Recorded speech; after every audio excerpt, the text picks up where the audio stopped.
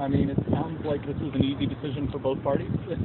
Well, I can't speak for the, the Red Wings, and, and like they mentioned, I think they did their due diligence as they should, and looked at what other alternatives they could have. But for us, it was an easy decision. We've had a great partnership and relationship with the Red Wings, and, and we wanted nothing more than to extend it another two years. I know this was, you know, not necessarily the role you were expecting on, on being in a couple of months ago, um, but here you are. Um, how, what was the process like for you? How much do you, did you communicate with uh, the folks here in Rochester before this? And um, how well did you know these guys before uh, before coming in here? I've, I've known them extremely well for from the start. When we moved here in 2003, I was working in our baseball operations department with Jim Rantz, and so I've been here about every year since then, and, and plan to continue coming here. And uh, so I, I know these people very well, and I believe they know me. And as I explained to Dan and Naomi, with the uncertainty around the general manager's job in Minnesota right now, whether it's me or somebody else, our ownership is going to hire somebody that's a good person, that's going to work well with our affiliates because that's what we believe in. And that, that part of things is not going to change. What is it about Rochester that that seems to set them apart? I mean, three affiliations in almost 90 years now. Uh, so what, from your vantage point, sets this franchise apart from other minor leagues? Well, I think I tried to touch on it before. I think the number one thing is ownership. Naomi is fantastic to deal with, to work with. She's a good person. Dan, you're not going to find, you guys are spoiled. You might not realize it, but you have the best general manager in all of minor league baseball right here. There's no question in my mind. Gary Larder, these people, Will Rumbold, they've been around here for a long time, and there's a reason. There's a lot of continuity, and we operate the same way in Minnesota. We have high moral beliefs.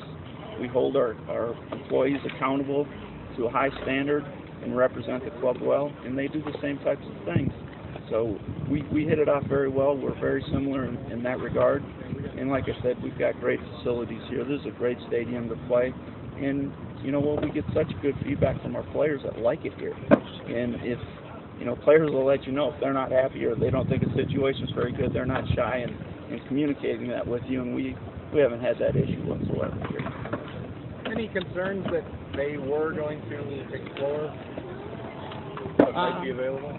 Yeah, you're always concerned because this is a group that feels very responsible to their fans, to their board, and to the people of Rochester, and they will do what they need to do to make sure that there isn't a better alternative, or they're not going to ignore some things that might be out there.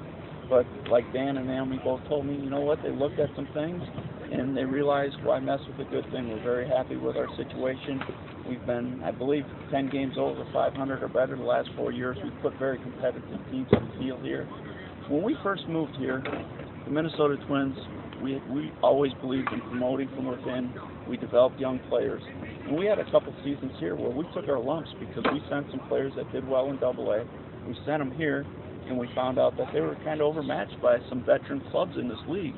And we made the adjustment and started getting more six-year free agents because we want to develop not only good players but winning players. And when you get some veteran players that can help you win some games, can kind of teach some of the young players and be mentors for them as well as the coaches.